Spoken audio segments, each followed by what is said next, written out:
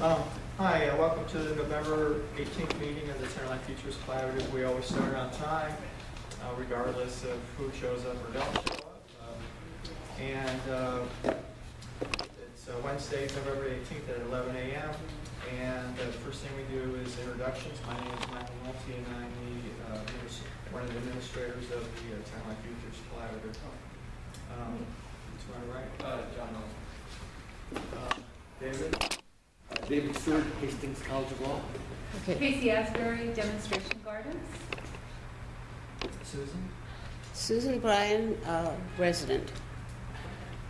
Okay, um, Jonathan Dunlop, Public Works. Betty Traynor, Friends of Boeddeker Park. Okay, welcome everybody, as it says up here. Uh, Forgot to put the smile. Uh, All right, the first item on our agenda is the 5M project. Uh, Is there a Buffy uh, Tar- Tarbox here? Well, um, I don't see her, so um, we'll move on to the next uh, item, which is uh, UC Hastings uh, Long Range Campus Plan. Good. Thank you very much, John. So Michael. Stand, stand in front I'm gonna, hold on, uh, Yeah. this is now. Okay. Behind it. Um, You gotta use the table for, Podium. for whatever you need. And This is also available online if uh, anybody would like to see it All online. right, okay. Uh, I want to thank you guys for inviting me back today, and just want to give you an update on where we're at with our, our long-range campus planning. And I'm happy to see DPW here. They're really great in helping us uh, on another project. So let me just give you an overview. This is our campus. It supports Hastings College of the Law with an enrollment of about 940 students, uh, 150 support staff, and 67 tenured faculty, about 80 uh, adjunct faculty. And we are a long-time um, partners with the community. We uh, institutionally have historically focused on public interest and public service. Uh, Our students are highly engaged in the neighborhood. Uh, Civil Justice Clinic, uh, once led by Professor Mark Aaronson, now uh, Professor Ascanio Piomelli. Um, Community Economic Development um, Clinic, which was very uh, active in the um, hospital project on Van Ness. Uh, We now have a, a- another program, which I want you guys to know about, keep on your radar screens, uh, the Social Enterprise Clinic, Professor Alina Ball, where she provides, she runs a clinic that provides legal support to nonprofits. Uh, They have supported uh, bylaw revisions, contract review, uh, project assessments for uh, 10-1 Economic Development Project, for the Community Benefit District. Uh, They're looking at issues related to the rollout of a camera project in the neighborhood for safety, and uh, safety enhancements. So we're very, very active in the community. And that's relevant and important because it costs a lot of money to go to law school nowadays.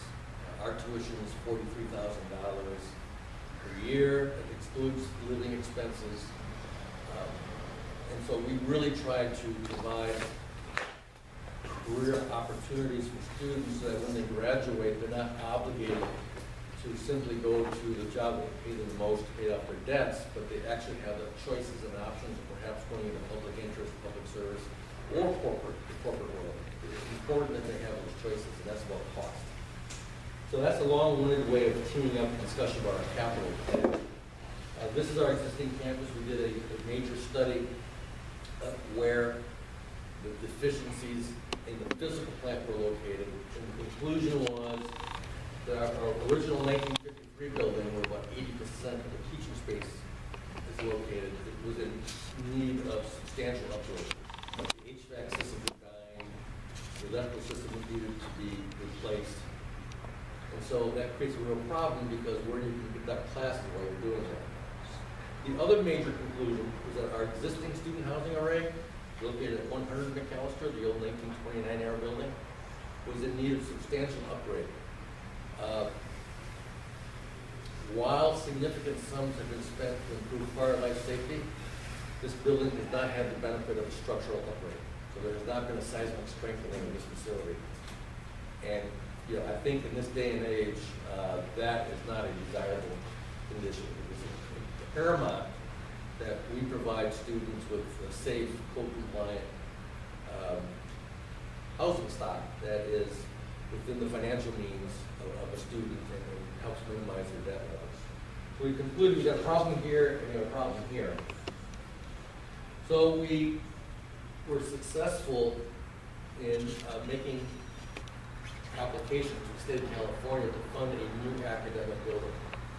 So the state budget, the 2015 budget, the 2015-16 Budget Act includes an appropriation of uh, $37 million to create a new academic building at 333 Golden Gate Avenue. The site between the Easton's parking garage and the King Hall, about uh, 12,000 square feet footprint. So we are in the planning stages of uh, developing a program that would go into this site. We would connect the structures together. It would be a building that would, we would strive for uh, platinum LEED certification. We would maximize uh, rooftop decks for uh, open space and garden functionality to replace some of the functionality that's on the site now. And we are slated to be in the market for a design-build team in 2018. So uh, this project is being run through the State Department of General Services, and we are shooting for occupancy and, and total operations in time for the fall 2020 semester. So that's roughly four years uh, down the road, two-year construction period. Uh, DPW, the other element of our long-range campus plan to be done, was the streetscape improvements of of McAllister from between Larkin and Leavenworth, that's complete. We were able to widen the sidewalks, do pedestrian safety improvements, uh, landscaping. Mohammed was, uh, I really owe, I owe him big time. Wow. Mohammed was instrumental in, uh, we were running some problems with Comcast. Mohammed took care of it. It was great. So, yeah, it's, uh, been- so that's done. So then, um, by virtue of us being in a position to replace the academic functionality that's currently housed here, that tees up the question, well, then what do you do with the old site, which you've done?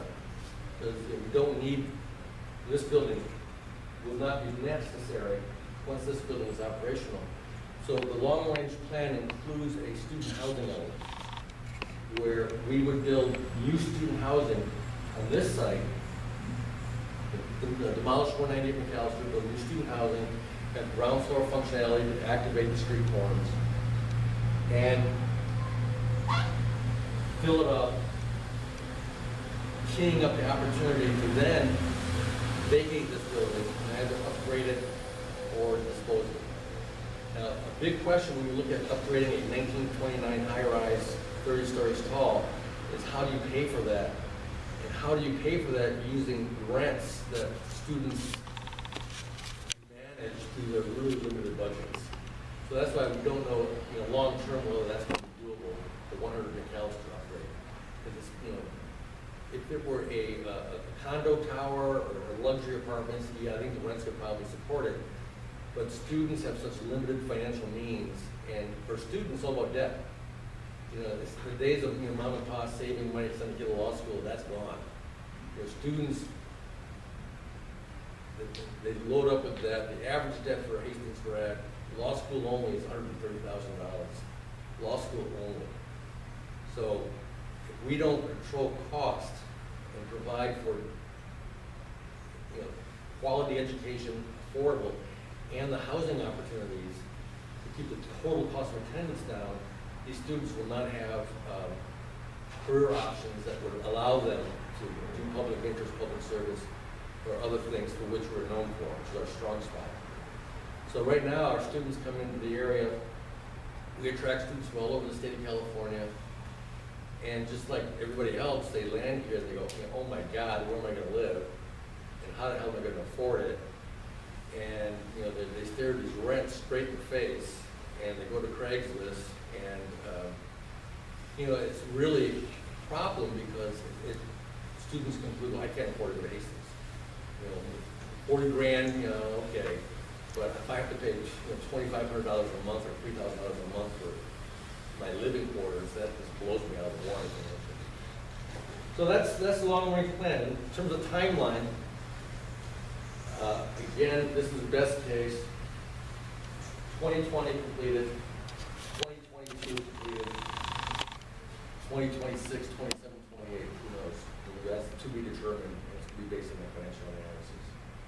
Now, we're in the middle of preparing our environmental documents, and I want to come back when we have the, uh, a little bit further along in CEQA, California Environmental Quality Act. Uh, And I'll come along, I'll bring, you know, any renderings we may have. We're doing the wind shadow analysis. Uh, We are, are looking at structure of up to 140 feet here. Uh, We're doing shadow analysis up to 90 feet here, but probably gonna be 80 to 85 feet. Um, And we really want to arrive at a outcome that really activates street levels. Because I think a, a totally valid criticism of Hastings is that if you look at our, our Golden Gate Avenue frontage, it's dead. There's, it's not activated. This is blank wall, this is blank wall, this isn't that much better. But we need to include activation strategies for our, the frontage here, and if we include this building in scope of the work, we haven't decided yet whether this annex is going to be or not. We need to really figure out how do we activate this corner of Hyde and uh, Golden Gate, because right now it's totally dead frontage. So, questions? Yes. So you have, you have the first part of the building, uh, um, oh, No, no, that one, that one. so that include the one behind it too?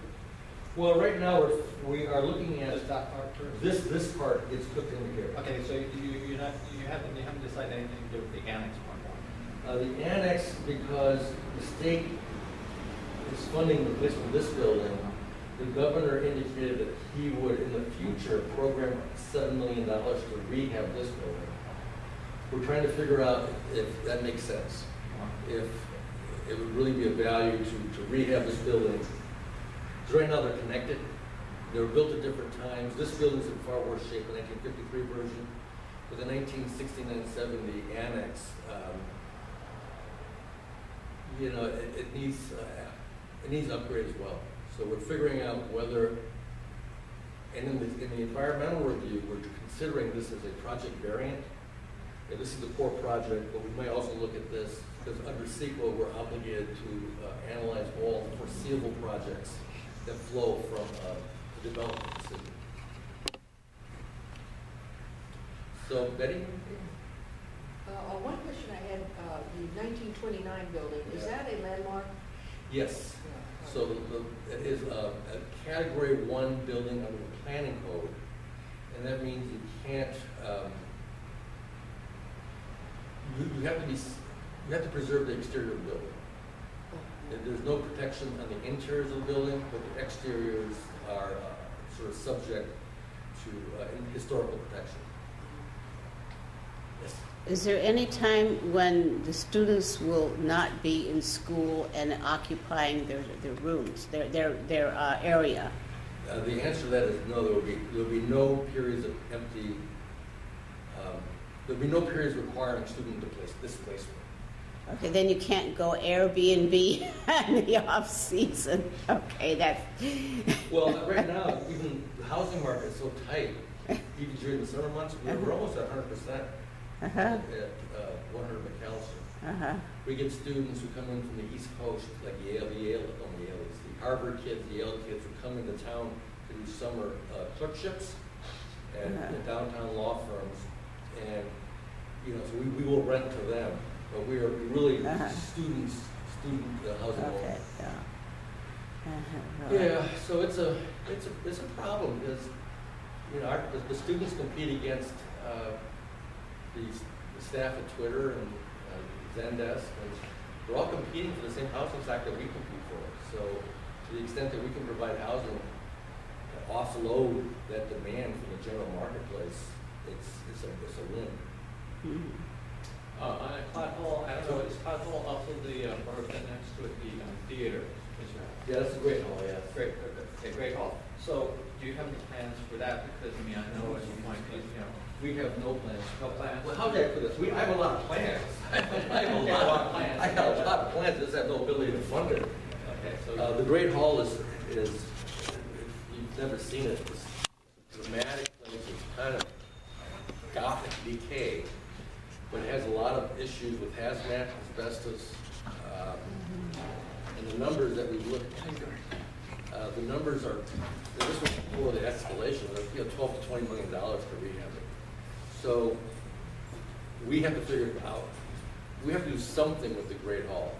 Uh, right now, we, as- part of the streetscape work, we removed the plywood, we planted, uh, we did the planning out there, hope we get a chance to see it. Planted bougainvillea in front of the opening, it looks really nice. But, uh, the short answer, uh, John, to the question is, we don't have anything substantive. And uh, we showed it to all the theater groups, uh, we showed it around. For Hastings, the primary objective is utilization. So if somebody were to come in with a bunch of capital and say, oh, we'd love to renovate your great hall and use it for X, Y, or Z, if it were a compatible use, we would say, yeah, go ahead. Because it would provide a lot of benefits to the overall structure. But we are receptive to, we need to repurpose the great hall. We just don't know how. Well, anything, anything else, folks? Uh, other neighborhood stuff? Uh, One thing, you know, Ninth, uh, those little micro units at Ninth and Mission. Yeah. I know uh, the conservatory getting long-term lease for them for a certain number of floors for their students. Are you doing anything like that for your students? I mean, trying to get, or build more of those type of things? Because student, for students, it does make sense. Yeah, we looked at those, like, I, I got the tour, the Patrick Kennedy, uh, the, the Paramount? The, I think what it's called. But, Yeah, something, something like that. yeah, Those units look perfect. yeah. About two hundred seventy-five, three hundred square feet. Um, the graduate student population tends to not, they don't like to be double occupants. They like, they like their own, you know, their own little cell. Yeah, yeah. And so it's perfect, because it has their own bathroom, you know, microwave. With those units, with that type of package, though, you really need to put effort into the shared spaces, the common spaces, are social areas, because there's not a lot of opportunity. You can't fit, you know, more than two people, I would think, in most units. But yes, we're looking at those because they're, they can be delivered, again, at, at- rents that that are manageable for students. Yeah, now, to outfit these, these apartments and everything, uh, have you, I mean, there was a Airstream used to have the greatest way of storing everything in their places, and if, you know, get somebody with that kind of mindset for, for, for the kids to be able to stow their stuff. Well, I think we're probably gonna have to do storage in the basement, Uh, because, you know, those units, they, they, they are, every inch is sort of really thought out. It's sort of like Amtrak train thing too. Yeah. Um, and bike cages in the basement is, is just uh-huh, limited opportunity. yeah. But we're gonna have to really maximize roof, roof space, Mhm. roof deck, terracing, and all that. So, um, we'll sell, I'll have more meat and potatoes probably in January, February, as we progress with the uh, CEQA. We'll be having a lot of uh, scoping meetings to sort of flesh it all out for you guys. And uh, I really encourage and, and want to incorporate your views, suggestions, and uh, input. Thank you.